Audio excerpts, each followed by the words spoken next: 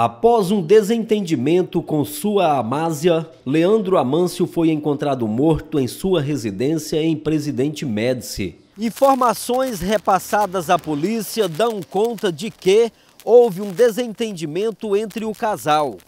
Na ocasião, a mulher se apossou de uma faca e desferiu vários golpes contra a vítima, que não resistiu. A suspeita pelo crime fugiu após o ocorrido e não teve sua identidade revelada. O crime está sendo investigado.